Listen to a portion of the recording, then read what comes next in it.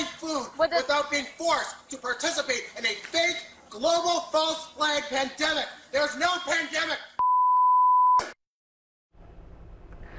The customer wasn't arrested or cited, but Miami Beach officials had ordered customers, employees, everyone needs to have a face mask on in a grocery store. Well, more than 3,800 people in the state have tested positive for the virus, and more than 1,600 have died in that state alone. And then there's this outside of Atlanta. A fight erupted outside of a mall the same day that shoppers were finally allowed inside again.